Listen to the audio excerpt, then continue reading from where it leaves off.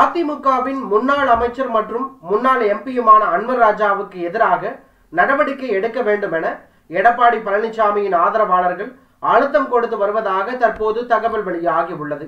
இதனிடையில் அண்மையில் முன்னாள் அமைச்சரும் எம்பியுமான அன்வர் ராஜா பசும்பொன்னில் செய்தியாளர்களிடம் பேசியது அதிமுகவில் அதிர்வலைகளை ஏற்படுத்தியது. சசிகலா அதிமுகவில் நுழைவது தொடர்பான பிரச்சனை எழுந்துள்ளதால் பல்வேறு கருத்து வேறுபாடுகள் ஏற்பட்டுள்ளன. அந்த கருத்து வேறுபாடுகளை மறந்து அனைவரும் ஒற்றுமையாக இருக்க வேண்டும். அதிமுக கொடியை நாங்கள் மட்டுமல்ல அவர்களும் பிடிக்கலாம் யாரும் பிடிக்கலாம்.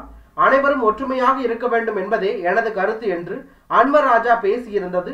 எடப்பாடி பழனிசாமி தரப்பை கோபப்படுத்தியுள்ளது அன்வர் ராஜாவுக்கு வாய்ப்பூட்டு போட வேண்டும் அவர் மீது நடவடிக்கை எடுக்க வேண்டும் என்று அப்போதே எடப்பாடி பழனிசாமியிடம் அவரது ஆதரவாளர்கள் பொங்கி இருந்தனர் இந்த நிலையில்தான் அண்மையில் புதுக்கோட்டை மாவட்டம் கரம்பக்குடியைச் சேர்ந்த அதிமுக பிரமுகரும் அன்பர் ராஜாவும் பேசிய ஆடியோ வைரலானது.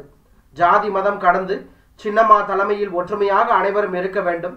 அப்படி இருந்திருந்தால் திமுக ஆட்சிக்கு வந்திருக்காது.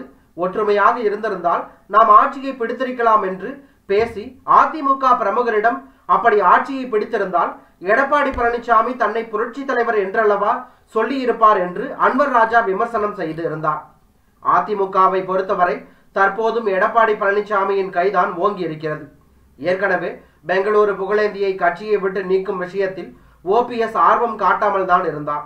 ஆனால் எடப்பாடி பழனிசாமி தரப்பு அழுத்தம் கொடுத்து அவரை கட்சியை விட்டு நீக்கும் அறிக்கையில் ஓபிஎஸ் இடம் கையெழுத்தும் பெற்றது.